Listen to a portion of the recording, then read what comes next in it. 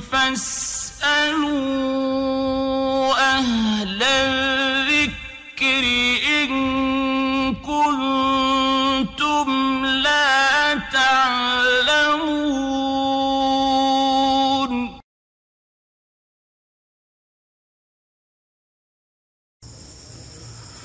وعليكم السلام ورحمة الله وبركاته. الحمد لله وحده والصلاة والسلام على من لا نبي بعده. এক সম্মানিত বোন জিজ্ঞেস করছিলেন যে যে সন্তান পিতামাতার অনেক সম্মান নষ্ট করেছে, এই সন্তানকে কি করতে হবে? আবার যদি সন্তান বলে যে, আমার পিতামাতার কোনো পরিচয় নেই বা পিতামাতাকে অস্বীকার করে, এত করণে কি? সম্মানিত ভাই বোনেরা, আমরা যেখান থেকে শুনছি, আপনাদের প্রথমে যে কথাটি বলব, দুনিয়া ক্ষণস্থায়ী। আপনাদের বলব যে, পরকালকে স্মরণ করুন।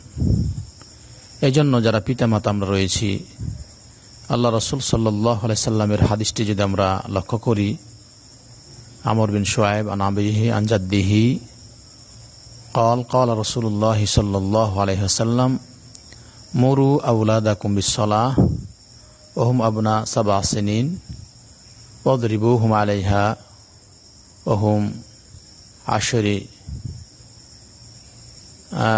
অফারেকু বেইনাহুমা ফিল্মা দাজিয়া রাহব দাউদ হাদিস সই হাদিস আমর বিন সোয়েব তার পিতা তার দাদা থেকে বর্ণনা করেন, আল্লাহ রসুল সাল্লাহ সাল্লাম এরশাদ করেন যে, তোমাদের সন্তান সন্ততিকে সালাতের জন্য উপদেশ দাও যখন তাদের বয়স সাত বছর হয়, সাত বছর হয়। আর যখন তাদের দশ বছর বয়স হয়, যদি সালাত না পড়ে, তাদেরকে লাঠি দিয়ে প্রহার করার কথা বলা হয়েছে এবং তাদের বেডকে ভিন্ন করতে বলা হয়েছে। সম্মানিত ভাই বোনেরা উপদেশটি ভালো করে শুনুন, কাজে লাগবে। ছেলে মেয়ে সবার রয়েছে, যার রয়েছে আলহামদুলিল্লাহ, যার নাই সেও ছেলে মেয়ে চাই। ছেলে মেয়ে অত্যন্ত প্রিয় বস্তু, পুরো প্রিয় জিনিস। যার রয়েছে সেই তার মর্ম ভালো বুঝে, যার হয় না সেই মর্ম ভালো বুঝে। তাই একটি কথা বলতে চাই, খুব গুরুত্ব সহকারে শুনবেন, আমল করার চেষ্টা করবেন, যে আপনার ছেলে যে রয়েছে, ছেলেদেরকে যিনি বাপ রয়েছেন, বাবা সাত বছর বয়স হলে এই ছেলেকে মসজিদমুখী করবেন। আপনার ছেলেদেরকে, যতগুলো আপনার ছেলে রয়েছে, সবগুলা ছেলেকে মসজিদ মুখে করবেন। যদি কোনো ব্যক্তি তার ছেলেদেরকে মসজিদ মুখে করতে পারে, মসজিদে পাঁচক্ত সালা জামাতে পড়ার জন্য চেষ্টা করে বাপও পড়ে, ছেলেরাও পড়ে। তাহলে তারা কোনো সময় সঠিক পথ থেকে ইনশাআল্লাহ বিচ্যুত হবে না। যারা আল্লাহকে ভয় করে, তারা অবশ্যই অবশ্যই তারা সঠিক পথ প্রাপ্ত হবে। আল্লাহমুখী হলে তার ইহকাল পরকাল কল্যাণ হবে। জি, মা বোন যারা রয়েছেন তাদেরকে বলি, যে মেয়ে আপনার রয়েছে, জি।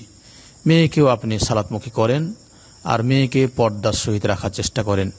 মেয়ে যখন সাত বছর বয়স হবে, এমনই আপনি যখন মা সালাত পড়বেন বাড়িতে, মেয়েকে সাথে নিয়ে সালাত পড়ার চেষ্টা করবেন, যেভাবে উজু করবেন, তাকেও উজু করা শিখাবেন। আপনি বাড়িতে সালাত পড়বেন ঠিক সময়, মেয়েকে নিয়ে সালাত পড়াবেন। ছেলে মেয়ে উভয় যখন তাদের সাত বছর বয়স হয়ে যাবে, সালাতের প্র্যাকটিস করবেন, আর যখন দশ বছর বয়স হয়ে যাবে, সালাত না পড়লে তাকে মারবেন এবং সালাত পড়ার জন্য চেষ্টা করবেন। জি, হাদিসটি ইমাম আবু দাউদ রাহেমাল্লাহ হাদিসটা নিয়ে এসছেন সুই হাদিস।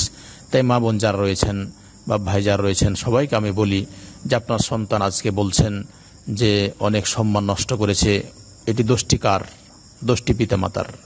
আমি বলব পিতামাতার। আপনার ছেলেকে কি? ছেলে যে, যিনি বাপ, এই বাবা কি ছেলেকে মসজিদে নিয়ে এসেছে? সাত বছর বয়সে। সাত বছর বয়সে কি যখন সাত বছর বয়স হয়েছে, ওই সময় কি ছেলে কি মসজিদে নিয়ে এসছে? বাবা, বাবার এখন এই যে সে কষ্ট পাচ্ছে, এটি মূলত বাবা মার ত্রুটি। অনুরূপী অনেক মা রয়েছেন, যার মেয়েকে হারাইছেন। মেয়ে তার কথা শুনে নাই আপনার তা তাই বলি, আপনার মেয়ে কি সাত বছর বয়স থেকে সালাদ শুরু করেছেন? আপনার মেয়ে যখন আপনার যুবতী হয়েছে, ওই সময় থেকে আপনি আপনার মেয়েকে পর্দা করাইছিলেন। নিজে পর্দা করেছেন, আপনার মেয়েকে পর্দা করাইছেন, তাই আপনাদের বলি, আপনার ছেলেকে আল্লাহমুখী করুন, মসজিদমুখী করুন এবং আল্লাহর ভয়ে, সে ভয় যাতে পেয়ে পরকালের ভয় পাই। তাহলে পিতামাতার খেদমতের কথা বলুন। প্রথমে সেরেকি বেদাতি বিষয়গুলা ছাড়ার জন্য চেষ্টা করুন, মসজিদমুখী আল্লাহমুখী করুন। তারপরে পিতামাতার যে খেদমত হয়, কোরআন এবং হাদিসে যে দলিলগুলা রয়েছে, আপনার পরিপূর্ণ দলিল রয়েছে। আল্লাহ সুবহানাহু ওয়া তাআলা বলছেন ওয়াকাদা রাব্বুকা আল্লা তা'বুদু ইল্লা ইয়াহু অবিল বিল ওয়ালিদাইনি ইহসানা। যে আল্লাহ সুবহানাহু ওয়া তাআলা ফয়সালা করে দিয়েছেন। যে আল্লাহ সুবহানাহু ওয়া তাআলার ইবাদত করার পরে পিতামাতার খেদমত করার জন্য বলছেন এবং পিতামাতাকে যাতে করে সন্তানেরা উফ শব্দটা না বলে, যে পিতামাতা যাতে কষ্ট পেয়ে উফ শব্দ না করে। তাই আজকে আপনি বলছেন যে আমার সন্তান সম্মান হারিয়েছে, কিন্তু আপনি বাস্তবে রাসুল সাল্লাহ সাল্লামের আদেশ যদি পালন করতেন তাহলে এটা হতো না। অন্য হাদিসে সই হাদিস আল্লাহ রসুল সাল্লাহ সাল্লাম বলছেন যে এক সাহাবা মোয়াদ ইবনে জাবাল অথবা অন্য আবুজার অন্য হাদিস এভাবে এসছে যে আল্লাহ রসুল সাল্লাহ সাল্লাম বলছেন যে আমাকে দশটি উপদেশ দেওয়া হয়েছে। তার ভিতরে লাস্টের উপদেশ ছিল যে, তোমার বাড়িতে যেন আদবের লাঠি থাকে। তাই মা বোন যার রয়েছেন, শুনছেন বাপ ভাই যার রয়েছেন, এ কথাগুলো মনোযোগ দিয়ে শুনুন। আপনার বাড়িতে যাতে করে আদবের লাঠি থাকে।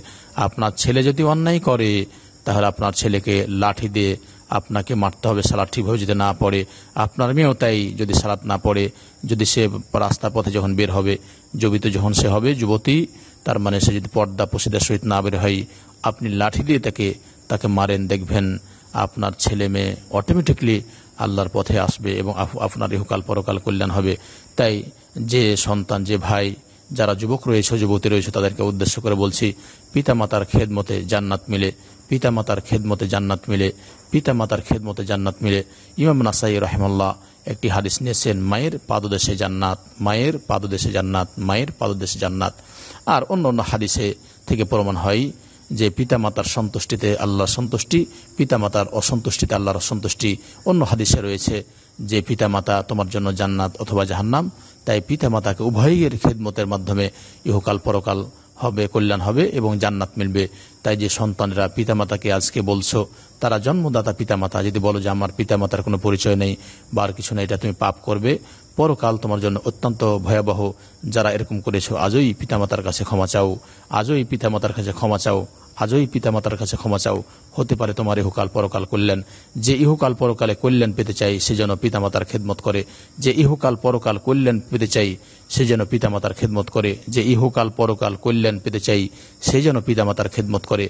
বাপ ভাই যারা রয়েছেন, আপনার সন্তানকে আল্লাহমুখী করুন, মসজিদমুখী করুন, আর যারা বোন রয়েছেন, তাদের মেয়েদেরকে আপনার পর্দার সহিত বাইরে নিজেও যান, পর্দার সহিত তাদেরকে বাইরে যদি যেতে হয়, পর্দা পুশিদা করে যদি তারা বাইরে হয়, অন্য ছেলে মেয়ের সাথে যেন তাদেরকে, তাদের খারাপ কোনো সম্পর্ক না থাকে। আল্লাহ যেন আমাদের পিতামাতার এইভাবে যেন মানুষ করার তৌফিক দান করেন। জি, সন্তানকে তাজ্য পিতর না বলে থাকে তাদের হৃদায়তের জন্য আপনি দোয়া করেন, কারণ আপনারাই আপনারও সন্তান। আপনার যদি সম্মান নষ্টও হয়, তা মানুষ বলে তারই সন্তান। তাই আপনি তার জন্য দোয়া করুন, তাকে একটু আদর করে ডাকেন যে, বাবা, যা হয়েছে আমার সাথে যাতে আপনার সম্পর্ক আরও গাঢ় করার চেষ্টা করেন সন্তানকে ক্ষমা করে তাকে সঠিক পথে নিয়ে আসার চেষ্টা করেন। গালি দিয়ে নেয়, মার দিয়ে নেয়, যদি কিছু হয়েও থাকে, তা সেও যাতে বুঝতে পারে। তাই এইভাবে আসুন একে অপরে। আল্লাহ যেন আমাদের ইহকাল পরকাল কল্যাণ দান করেন। ও আখরে দাওয়ানা আনিল হামদুলিল্লাহ রবিল্লা আলমিন। সুবহানাক আল্লাহ হামদিকা আসাদুল্লাহ ইলাহা ইল্লা আন্তা আস্তাগফিরুকা ওয়া আতুবু ইলাইক।